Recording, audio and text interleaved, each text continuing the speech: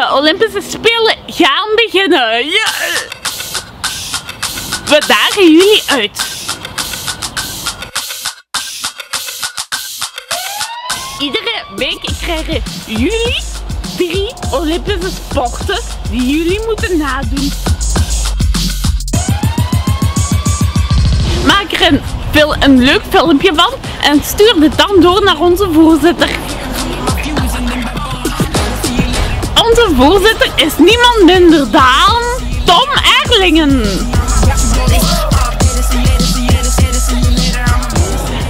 Dus doe jullie best, want jullie kunnen een bronzen, gouden of zilveren medaille in de wacht slepen.